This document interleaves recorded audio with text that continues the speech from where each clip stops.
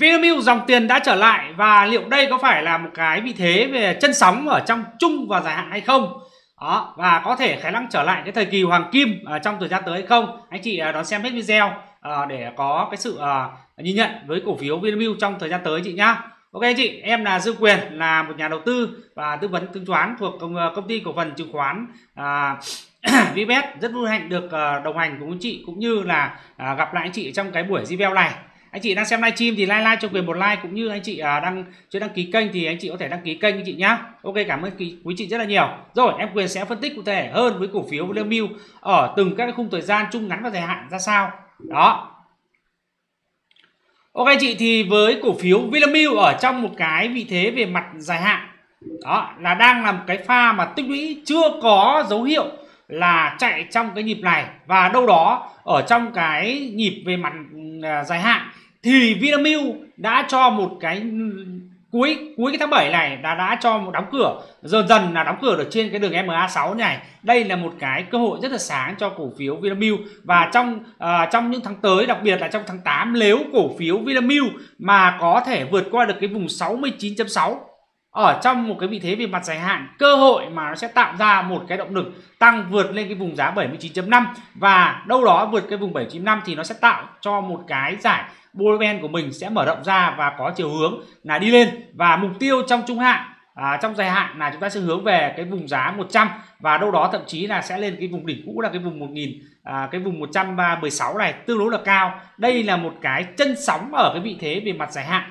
Đó anh chị đang nhìn thấy này. Đó đâu đó thì à, cái đường RSI của mình đang có dấu hiệu là trở lại cái cái đường 50 của RSI là khi mà nó trở lại cái đường 50 thì nó biểu hiện cho một cái xuống tăng trở lại đối với Vinamilk. Và đối với chỉ báo MACD của mình thì đang có sự à, là à, MACD và đường tín hiệu đang có sự hội tụ lại với nhau. Nó tạo ra cái đường histogram là đang à, đang siết lại với nhau và đang tiệm cận đến cái đường zero. Đó khi mà nó vượt lên cái đường zero này thì anh chị nhá nó sẽ có một con sóng rất là mạnh đối với cổ phiếu Vinamilk. Và Vinamilk thì à, đối với tín hiệu MACD rồi là tín hiệu uh, uh, chỉ báo à, uh, RSI đang cho tín hiệu mua trở lại. Rồi là dòng tiền anh chị. Rồi là dòng tiền đang có dấu hiệu là hướng lên ở trong cái vị thế về mặt dài hạn. Đây quyền đánh giá là một cái chân sóng ở trong một cái vị thế về mặt dài hạn. Mục tiêu là trước mắt là chúng ta sẽ trở lại được cái khu vực giá 80 và trong cái nhịp này anh chị nhá, trong những cái sóng tới là quyền đánh giá đối với cổ phiếu Vinamilk mà sẽ trở lại được cái khu vực giá một à, cái vùng à, 116 này rất là cao. Đó. Rồi cái vị thế về mặt trung hạn thì sao ạ? Trung hạn thì như anh chị đang nhìn thấy là chúng ta đã vượt qua được cái đường M20 rồi đó, và cơ hội rất là sáng khi mà trong trung hạn cái đường RSI của mình nó đã cắt lên cái đường 50 đó, cắt lên cái đường 50 và chỉ báo MACD thì cái đường histogram này chị, nó đã cắt lên cái đường zero rồi. Đó, và dòng tiền vẫn đang tiếp tục đi vào. Mặc dù như anh chị đang nhìn thấy đúng không ạ? Chúng ta có những cái vùng đỉnh trước đó thì cái dòng tiền nó đang cao, dòng tiền của cái đỉnh sau này nó đang cao hơn cái đỉnh trước mặc dù giá chưa vượt qua nhưng mà cái cái dòng tiền nó đã nó đã hướng cao hơn. Đây là một cái dấu hiệu rất là tốt chị nhá. Đâu đó trong à, tháng 8 này chị nếu mà nó vượt qua được cái đường 50 này thì cái dòng tiền vào rất là mạnh.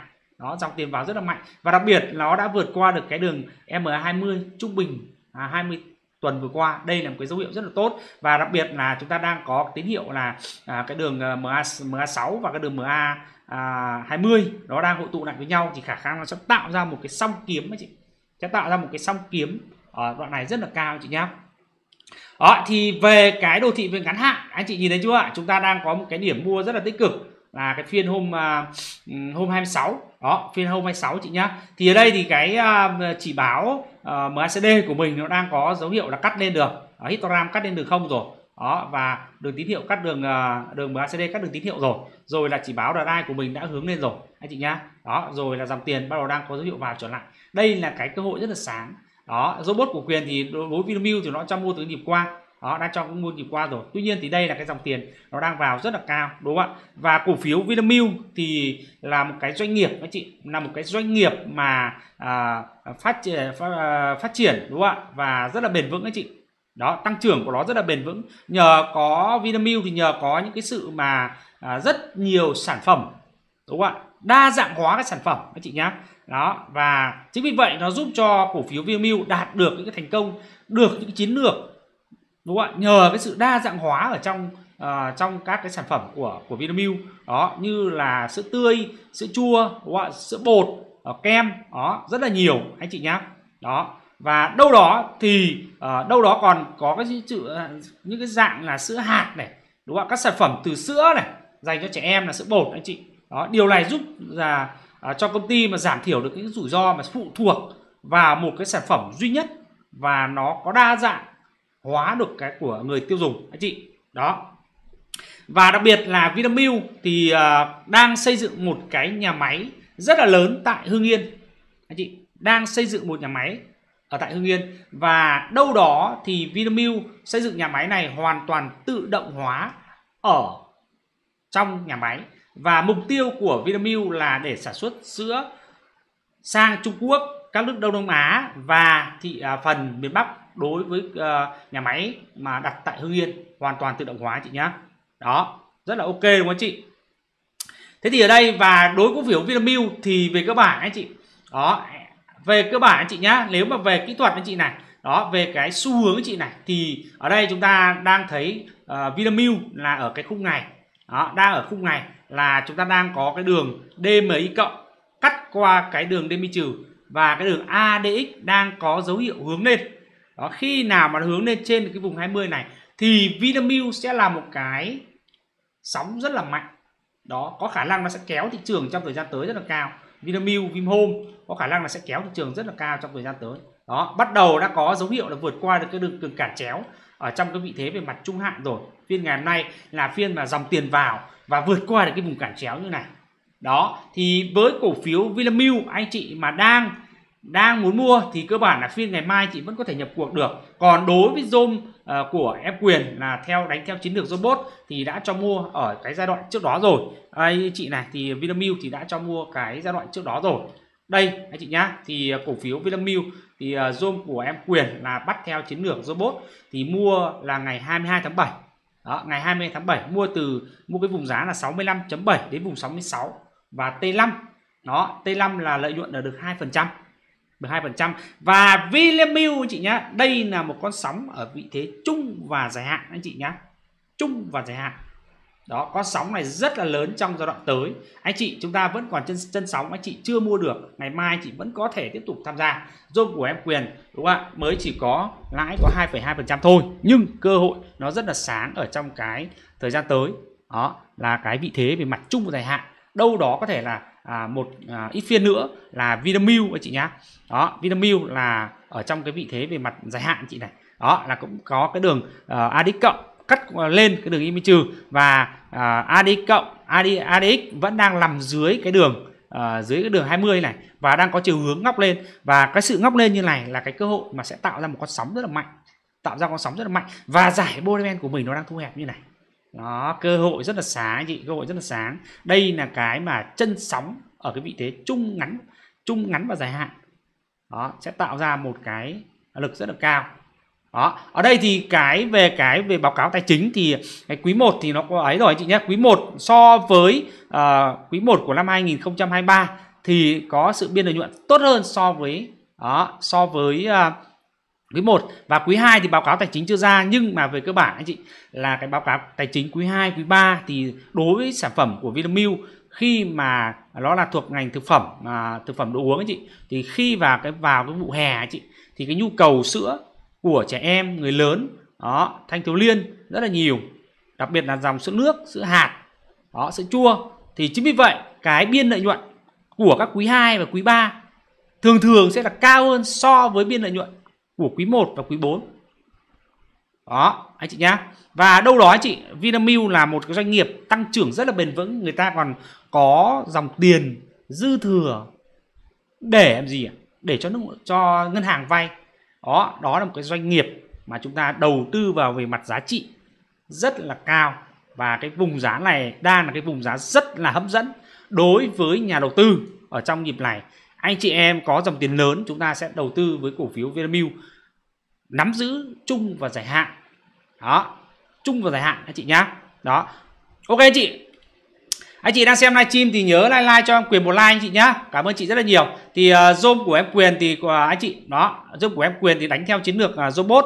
Thì con robot của em quyền đã cho uh, mua cổ phiếu KBC anh chị này. Đó KBC là T3 là đang lời nhuận đang lợi nhuận là 5.3% mua vùng giá 26.4 267 đó CMG là T3 đang lợi nhuận là 4.6% rồi là cổ phiếu VC T2 là lợi nhuận là 0,8% và à, cổ phiếu Đạm Phú Mỹ T2 là cũng lợi nhuận là 2,9% đó và đối với cổ phiếu HAG mới mua T1 thôi đã lợi nhuận là 5% rồi là cổ phiếu C, FMC ngày hôm nay đó FMC ngày hôm nay T0 đó lợi nhuận là 2.2% 2% đây là anh chị đây là cái giai đoạn anh chị thấy không ạ?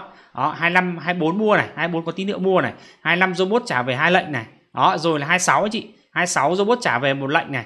À, hôm nay 29 đó, hôm nay 29 robot trả về một lệnh. Thì như anh chị đang nhìn thấy trên cái à, màn hình này đúng không ạ? Robot của em quyền đánh toàn toàn bộ đang cho cái biên lợi nhuận rất là tốt. Có thể hàng T0 thì cũng chưa nói đến điều gì. Đúng không ạ? Ngày mai đối với HAG về thì khả năng ổn định rồi. Đó nguyên là khối cổ phiếu KBC và CMG đó rồi là cổ phiếu VC ngày hôm nay hàng về. Đó rồi là đạm phú mỹ hàng về rồi. Đang ổn định đang có lợi nhuận rất là tốt. Có HAG ngày mai mới về đã lợi nhuận 5% rồi. T0 uh, ờ, FMC là chúng ta có lợi nhuận là 2 2% lúc ờ, 9 giờ 29 phút. Đó lúc đó là em vẫn còn đang live stream mà robot nó bắn về. Đó, robot bắn về chị nhá. Đó anh chị. Đó.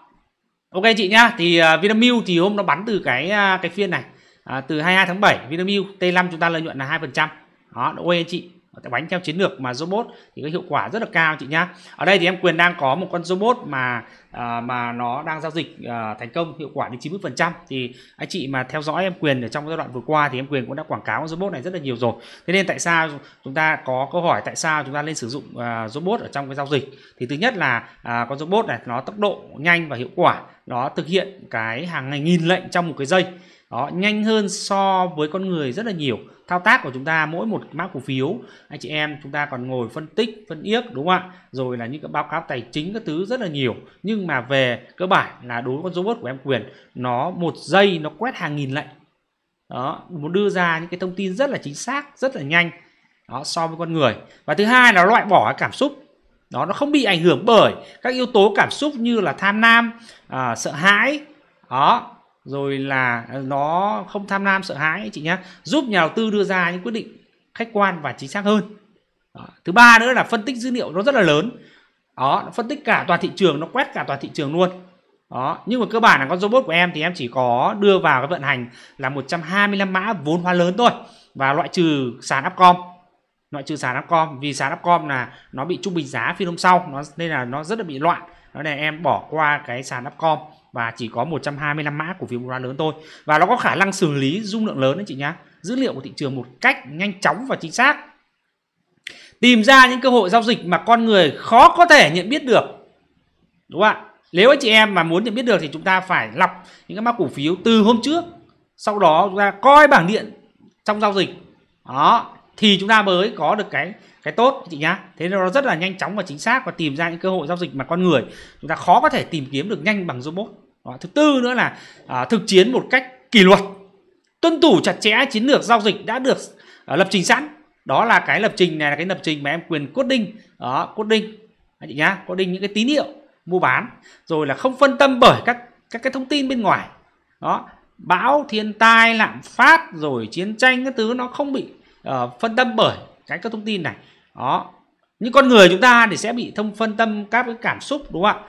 Đó ví dụ như là hôm nay à, chính trị à, trong nước có cái vấn đề này này này rồi là chiến tranh những nghĩa các thứ. Đó à, chúng ta sẽ bị tâm lý hoặc là à, Dow Jones mà có giảm điểm thôi. Đúng không ạ? Trên các trang là diễn đàn phát là rất là nhiều người ơi mai viên đất sập rồi mai viên đất sập rồi viên đất đó đúng không ạ? Hoặc là mai viên đất tăng rồi. Nó loại bỏ hết cái thông tin đó ra chị nhá. Nó chỉ cứ cần biết đánh theo đúng cái, cái chiến lược lập trình sẵn của em quyền. Và cái lập trình này là em đã bách test là khoảng tầm à, hơn một năm nay cho hiệu quả rất là thành công cao. Và thứ tư năm nữa là kết luận đúng không? đầu tư nó an toàn theo chiến lược robot và sinh lời một cách bền vững.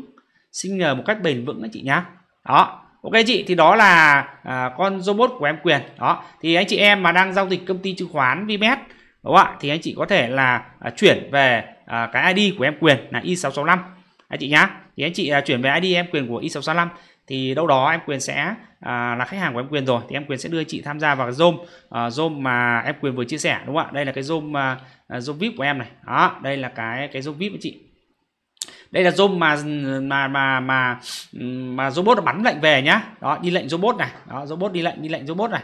Đó như KBC này à, CMG đó là những cái nhịp này 25 này 25 là VC này đảng Phú Mỹ đây. Đó, 26 thì trả lệnh, lệnh HAG này. Rồi là MC là trả lệnh ngày hôm nay. Đó rồi là à, cổ phiếu uh, Vinamilk nữa chị.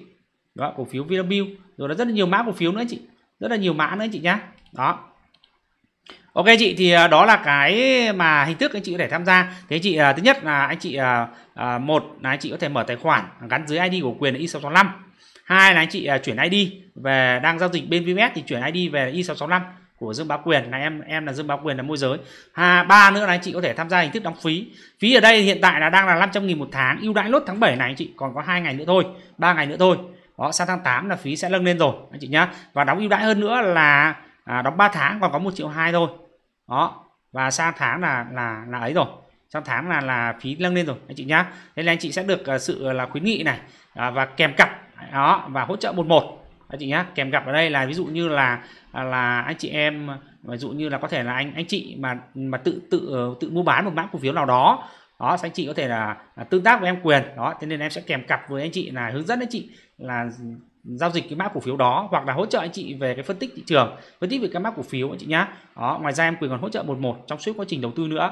Đó anh chị à, quét mã QR code để đăng ký tham gia zoom VIP anh chị nhá. Đó đến với Dương Quyền là đầu tư chủ động và sinh lời một cách bền vững anh chị nhá. Ok cảm ơn quý chị rất là nhiều. À, cảm ơn anh chị đã theo dõi video và anh chị nhớ like à, subscribe kênh anh chị nhá. Ok bye bye anh chị.